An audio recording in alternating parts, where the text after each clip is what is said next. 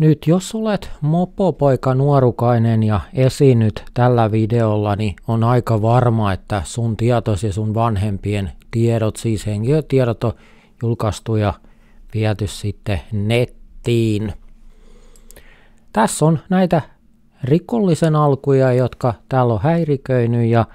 nyt te, niille, jotka haluaa itkeä, että ei saa, ei saa julkaista loukkaa yksityisyyttä, niin voitte pitää ihan omana tietona, ne ei kiinnosta pätkääkään, että näillä pojilla on itsellään oikeus tehdä rikosilmoitus yksityisyyden suojan loukkauksista, jos haluaa, ja teillä kenelläkään muulla ei ole siihen mitään sanottavaa. Eli ihan turha urputtaa semmosesta, ja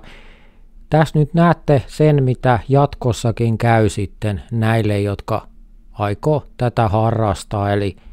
ei ole väliä mitä uhkauksia tai muuta tulee, mutta jos aiot varsinkin tänne mun kotiin tulla häiriköimään niin kuin nämä kaverit ovat tehneet, niin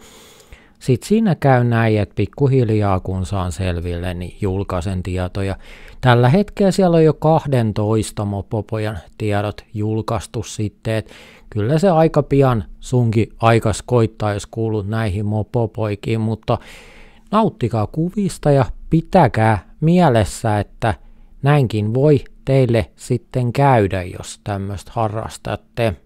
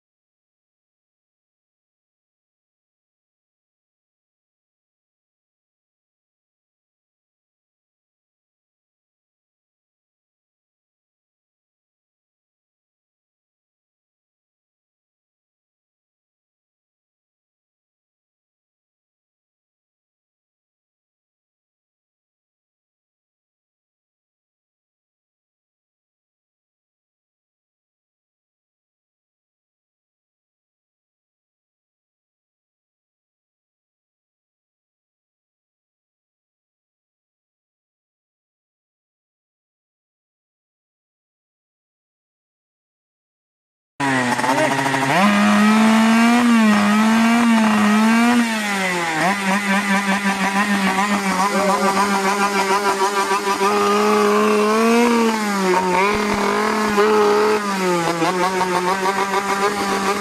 you.